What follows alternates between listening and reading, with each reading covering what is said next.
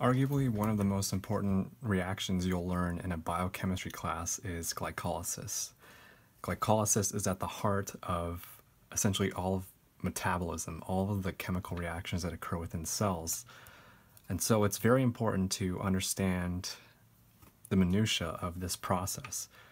And it's because each step along the way, we have intermediates that are very important that, we can, that can be used for various other reactions the main context in which people typically speak about glycolysis involves uh, the generation of ATP, and that's not necessarily 100% accurate, but um, arguably the most important role of glycolysis in life is for extracting energy from glucose. And um, glycolysis itself does not generate the vast quantities of ATP that we need to survive. That actually comes later um, in the citric acid cycle main purpose of glycolysis is to take a glucose molecule and catab um, catabolize it, break it down to extract energy from the uh, high energy electron, to, to store the energy, to take the energy that's stored in a glucose molecule and capture it into things that we refer to as high energy electron pairs, like NADH and FADH2 and NADH and FADH2 are the two molecules that are actually used later in the citric acid cycle that give us the massive quantities of ATP we need to survive. Um, there are also several other key intermediates or products that come from glycolysis, such as pyruvate. Pyruvate or pyruvic acid is incredibly important in several other metabolic pathways that our cells need to survive. So that's the reason why I'm trying to make sure that we understand that glycolysis is not just about making ATP. Um, and so with that in mind, I'd like to make this video overview talking about glycolysis. And this is by no means super in-depth, but uh, the reason I'm making this video is because I felt when I was taking biochemistry, I couldn't find someone who went into the level of detail that I needed when I was taking the class, like the enzyme name at each step and the intermediates and what needs to happen each intermediate before we get to the final products.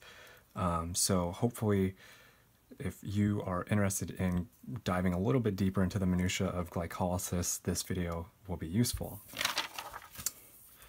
And so to start off with the general reaction that glycolysis needs to operate involves the import of a glucose molecule. You'll need two NAD plus molecules, two ADP, um, ATP molecules to begin with. And the products, the overall products we get from the whole reaction are two pyruvates, two NADH molecules, two ATP, two waters, and two protons. And one of the things that I really like about glycolysis is that it involves it, it's so central to uh, cells metabolism that we can see where problems can arise in patients with diabetes, for example. So getting this glucose molecule into your cell is very, um, it's a highly regulated process. And what happens is you'll have glucose molecules uh, floating around in the blood or in solution, and the cell is running low on ATP, so it goes through a series of feedback loops that say we need to run glycolysis more. So what are we going to do? We need to take glucose in from the outside and bring it into the cytosol where we can perform glycolysis to generate more ATP. And where insulin comes in is insulin is helps the hexose transporters, hexose just refers to a six carbon sugar, hexose transporters move the uh, glucose and other sugar molecules across the cell membrane into the cytosol where we can actually perform chemical reactions on them to derive ATP and other various molecules needed for metabolism. And so in patients who uh, develop insulin uh, deficiency or their cells just stop being receptive to insulin, what happens is the, the glucose will remain outside of the cell and they'll go through, uh, they'll, they'll have high blood sugar levels after they eat a candy bar or something like that. and it causes lots of problems. And diabetes is a huge problem in the United States right now. So I like that example because it shows how important understanding every little step along the way of glycolysis can be uh, to have a good understanding of where we see diseases or conditions on the macro level arising from. And so to begin with, once glucose has been brought into the cell, it is a molecule that likes to uh, dissolve out pretty readily. So the first step that a cell needs to do to keep glucose in is to do something called phosphorylation. And phosphorylation is performed by enzymes, a class of enzymes referred to as kinases. Kinases is just a generic term for something that moves a phosphate group between two molecules. And so what happens is this um, hydroxy group on the uh, glucose molecule will be changed into a phosphate group that is much bulkier and um, can't make it out of the cell anymore. So once, so the very first step of glycolysis is this initial phosphorylation because it will trap the glucose inside the cell where the cells can actually perform uh, catabolism on it and break it down to get the high energy electron pairs for ATP or perform other reactions on it. So that's step one. And the enzyme that performs this is referred to as hexokinase. Hexo meaning it's working on a six carbon sugar, the kinase meaning that it moves a phosphate group onto the six carbon sugar, in this case it's glucose. And ATP is consumed in this process, so one of the three phosphate groups is transferred off, the ATP becomes an ADP, and that third, the lost ATP, uh, phosphate group ends up on the glucose molecule, which is now referred to as glucose 6 phosphate. Once glucose 6 phosphate is um, created, something um, the next step is we have something called phosphoglucose isomerase. Isomers are uh, in organic chemistry referred to isomers as molecules that have the same chemical formula, so they still have the same number of carbons and hydrogens and oxygens and phosphates, but they have a different uh, geometry or arrangement. So the bonds are not identical. They have the same number of atoms, same types of atoms, but the bonds between these atoms are different. And so what an isomerase does is it's another class of enzyme that will change the bonding within atoms of this glucose 6-phosphate molecule. So phosphoglucose isomerase comes along and changes it into a molecule referred to as fructose 6-phosphate. Fructose, um, so this new molecule can be phosphorylated again, and this is another, um, it's in preparation for splitting the molecule in half, which we'll get to in two steps. So fructose 6-phosphate is another intermediate involved in the uh, second and third steps of glycolysis. It is again phosphorylated by something called phosphofructokinase, fructose kinase. Um, again, we see the kinase class of enzymes. What they're doing is they're taking this hydroxy group, converting it into a phosphate group, um, which is used later to um, convert the new molecule, which is referred to as fructose 1,6 biphosphate, into um, two separate molecules. So this fructose 1,6 biphosphate has had two phosphates attached to it. And the next step that's going to happen is an aldolase, which is another class of enzyme that's important to learn in a biochemistry class, is going to act on this molecule. And what's going to happen is the carbon 3 carbon 4 bond will be broken. And you can get into the if you're interested in the organic chemistry behind this, you can get down to the arrow pushing mechanisms and look at how precisely this enzyme works. But the main point is we get two different molecules from it. We get glyceraldehyde 3-phosphate and another molecule referred to as, I call it DHAP. And what happens is the glyceraldehyde 3-phosphate molecule can be um, dehydrogenated by an by a molecule referred to as glyceraldehyde phosphate dehydrogenase. And this is where we generate our first molecule of NADH. NADH is gold it is a very nice molecule to have because these are high energy electron carriers that will be used in the TCA cycle later on that will actually get us a lot of ATP.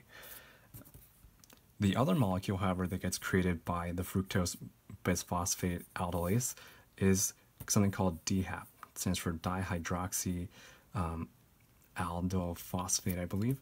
And what needs to happen here is this enzyme, the dehydrogenase class of enzymes, cannot operate on uh, DHAP. So we need to isomer isomerize this molecule into uh, glyceraldehyde 3-phosphate via the enzyme referred to as triose phosphate isomerase. Again, we see the isomer class of enzymes, the isomerase class of enzymes. It's going to change this DHAP molecule into a glyceraldehyde 3-phosphate molecule that can have the second NADH extracted from the same glucose molecule. And so every step past step four, so step five and beyond, we're now working with two, one, two, three carbon molecules. So glucose is a six carbon molecule. It stayed a six carbon molecule up until the point when the aldolase cut it in half at this C3C4 bond into two three carbon molecules. And only the glyceraldehyde 3 phosphate version of that three carbon molecule can have NADH extracted from it, but the cell can recover the triose phosphate isomerase uh, via, tri- uh, via this enzyme and get the other uh, NADH from it. So it's a way of maximizing the efficiency, maximizing the amount of energy that the cell can capture from a single glucose molecule. An important enzyme that uh, you see again and again, uh, you'll probably encounter on a test, is referred to as phosphofructokinase 1. And this is an important enzyme in regulating all of glycolysis. It is activated by ATP or the lack thereof. And so it is referred to as the gatekeeper of glycolysis by many biologists and chemists because when ATP levels fall, that means that the cell is running low on ATP. When phosphofructokinase does not have an ATP bound to it, it will become more active. And so, why is this important? It's important because if ATP is low, we want to run more of glycolysis to generate more ATP. Specifically, we want to run more glycolysis to create more pyruvate so that we can run more TCA cycle to get more ATP, but this is one of the steps along the way in that metabolic pathway to get there. So phosphofructokinase is an incredibly important enzyme in regulating glycolysis and ATP production. So it works via a negative feedback loop. So if you have a lot of ATP, it's very likely that an ATP molecule will be bound to PFK1. And if PFK1 has an ATP bound to it, it won't perform step three and none of glycolysis will happen because there's no need for it because you already have a lot of ATP present in the cell. So it's a very good feedback loop to have in your body so you don't waste all of your glucose uh, immediately when you don't need it, when you already have all the ATP you need to uh, be active at a proper level. So very important enzyme to remember here. Um, going on to the next step. So this first, these first few steps are referred to as the investment phase. It's referred to as the investment phase because we've given up two molecules of ATP to trap the glucose in the molecule and break it into a three carbon sugar or two three carbon molecules. And so far, all we've gotten from it is an NADH molecule, which is very useful later on, but so far we haven't netted any ATP from our reaction. So the next step that's going to happen is referred to, this next sequence of steps, the second half of the reaction is referred to as the payoff phase.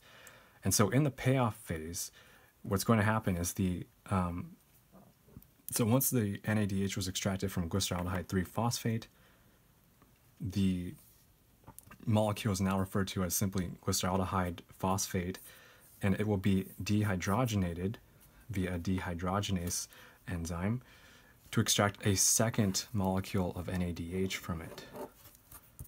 This second molecule of NADH um, will be used again in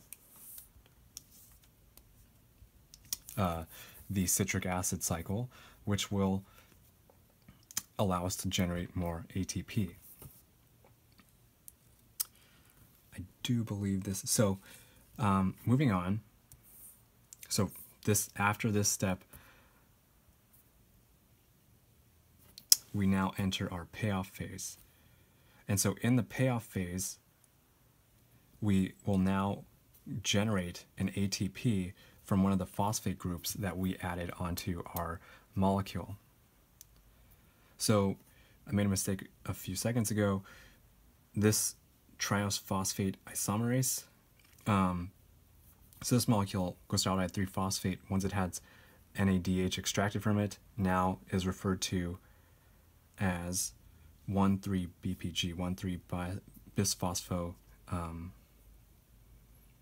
uh, something.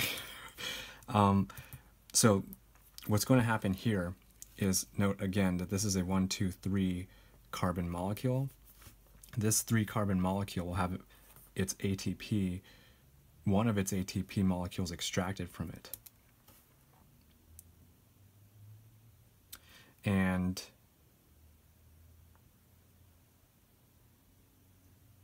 once that happens, um, the next step is to,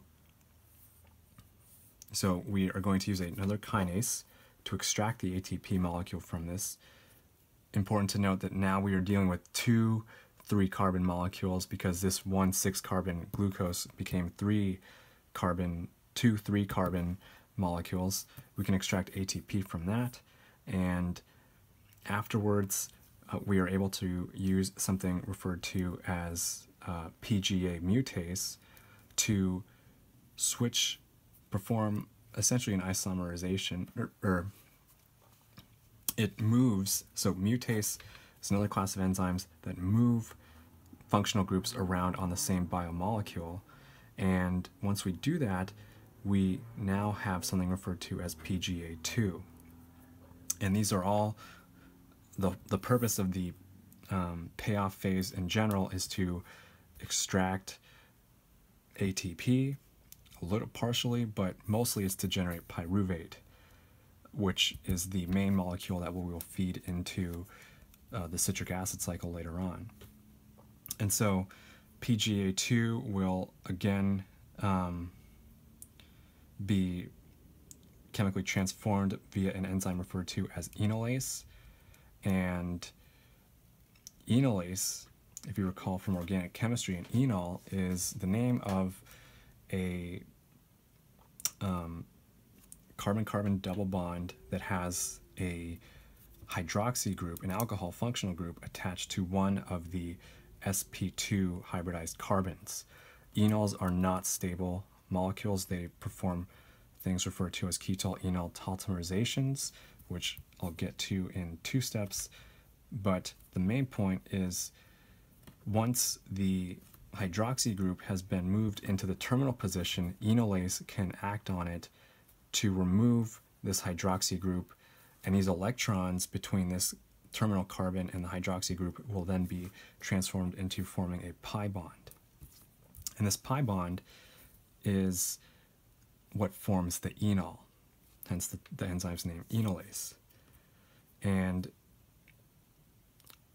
the next step is to extract another ATP from this molecule. So ADP will come along and it will grab and break this oxygen phosphate bond to forming an ATP molecule in the process.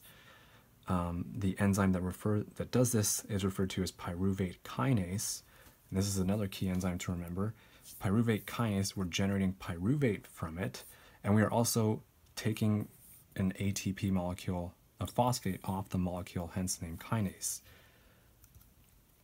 And so, in summary, um, we invested 2 ATP initially during our investment phase, and we got two 3 carbon molecules. From each of those two 3 carbon molecules, we extracted 2 ATP from it. So we are, so we just gained 4 ATP, we invested 2 ATP, so our net gain of ATP is 2 ATP from this one molecule of glucose. So it's pretty common you'll be asked what the overall reaction or overall yeah, stoichiometry of glycolysis is. You gain 2 ATP from this reaction, which is a decent amount, but it's not the end all be all. We can extract a lot more if we go to the citric acid cycle, which is the whole purpose of generating pyruvate, NADH, and FADH2. And one of the things that I would like to also discuss is the reason why it's important to